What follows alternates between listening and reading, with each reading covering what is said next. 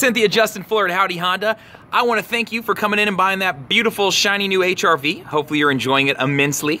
Uh, if you have any questions about your car, give me a call, a text, an email. I'm always here to help you. Below, I left a couple places where you can leave reviews, so hopefully, if you enjoyed your experience with me, Howdy Honda, everyone here at the dealership, you'll share with others because it definitely does help. Uh, other than that, I want to wish you the best of times in your new car. All the luck, and I will see you around town. Bye.